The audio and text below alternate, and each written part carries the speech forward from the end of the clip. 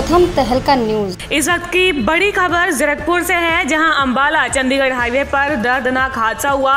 बता दें कि ट्रक और ऑटो की आपस में ज़बरदस्त टक्कर हो गई। इस वक्त की ये बड़ी खबर जो जीरकपुर से आ रही है, आपको बता दें, अंबाला चंडीगढ़ हाईवे पर दर्दनाक हादसा हुआ, जिस दौरान ट्रक और ऑटो की आपस में ज़बरदस्त टक्कर हो गई। घायल ऑटो चालक को इलाज के लिए अस्पताल में भर्ती किया गया है, जहाँ उसकी हालत गंभीर बताई जा रही है। बता दें कि इस हादसे के बाद फ्लाईओवर के पास वाहनों की लंबी कतार लग गई। अंबाला चंडीगढ़ हाईवे पर ट्रैफ़िक जाम जैसे हालात बन गए। एक बार फिर से आपको ये बड़ी खबर बता दें, जो जीरकपुर से आ रही है।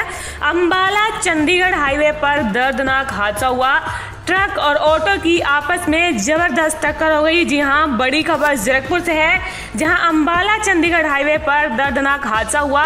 ट्रक और ऑटो की आपस में ज़बरदस्त टक्कर हो गई। घायल ऑटो चालक को इलाज के लिए अस्पताल में भर्ती किया गया है, जहाँ उसकी हालत गंभीर बताई जा रही है। फ्लाईओवर के पास इस हादसे के बाद वाहनों की लंबी कतार लग गई। अंबाला चंडीगढ़ हाईवे पर ट्रैफ़िक जाम जैसे हालात बन गए। लोगों को काफ़ी दिक्कतों का सामना करना पड़ा। पुलिस की टीम इस पूरे हालात को संभालने में जुटी रही। इस वक्त की ये बड़ी खबर है जो जीरकपुर से आ रही है। एक बार फिर से आपको ये बड़ी खबर बता दें जो जीरकपुर से आ रही है। अंबाला चंडीगढ़ हाईवे पर दर्दनाक हादसा हुआ। ट्रक और ऑटो की आपस में ज़बरदस्त टक्कर हो गई। जी हाँ बड़ी खबर जीरकपुर से है, जहाँ अंबाला चंडीगढ़ हाईवे पर दर्दनाक हादसा हुआ।